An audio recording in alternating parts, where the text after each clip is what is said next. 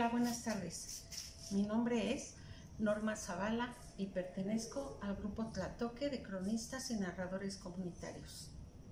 En esta ocasión les voy a compartir la leyenda de Mayagüel. El maguey fue una planta adorada en tiempos prehispánicos. Dentro de la cosmovisión mesoamericana, creían que era una diosa que había bajado del cielo para amarse con Quetzalcóatl.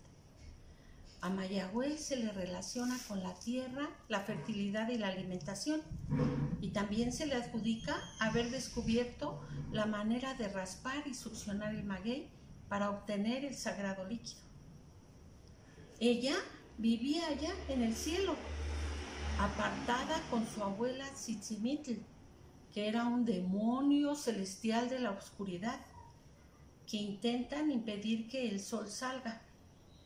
La tenía celosamente custodiada, prohibiéndole salir sin su permiso, a riesgo de matarla por desobedecerla.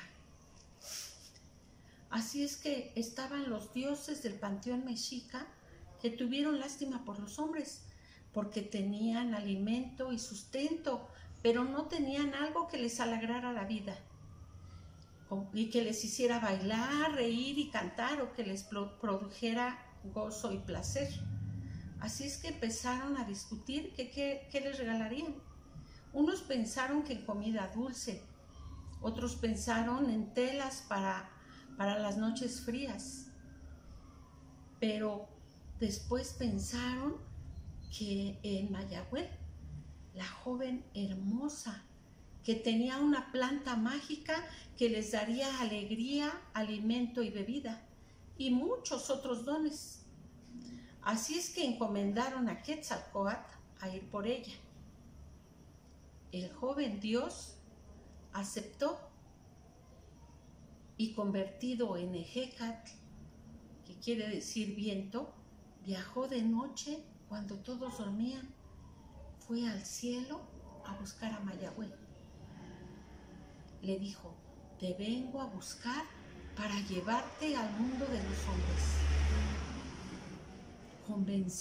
convenciéndola con sus palabras suaves y dulces para escapar con él y para que repartiera su mágica, su mágica planta. Aunque el riesgo era muy grande, porque sabía que iba a enfrentar a las demás Itzimime, que eran las otras diosas de la oscuridad eran poderosas y vengativas. En su huida se enamoraron prometiéndose amor eterno para al finalizar su misión.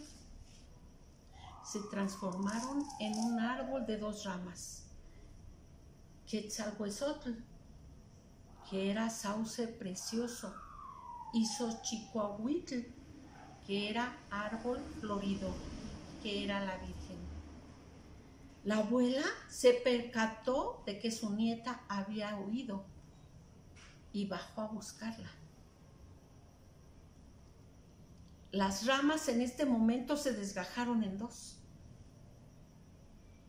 Reconoció a Mayagüel, la tomó, en la tomó en sus manos y la rompió en pedazos y le dio los pedazos a las demás diosas para que la devoraran la rama de Quetzalcoatl quedó intacta. Así es que Quetzalcoatl tomó los huesos de su amada, los enterró y se convirtió en maguey o metl. Dicen que en esos tiempos cayó una gran tormenta que quemó los magueyes pero también desprendió un aroma dulce y suave. Les llamó la atención a aquellos indígenas al abrir el corazón del maguey, descubrieron el dulce líquido que emanaba de su centro y lo consideraron como una dádiva divina. Era el regalo que Mayagüel había prometido a los hombres. y con esto se cumplió la misión que había hecho con Quetzalcoatl, la misión que habían prometido hacer, de entregarles un regalo divino a los hombres para que tuvieran alegría en su corazón. Muchas gracias. Espero que les haya gustado.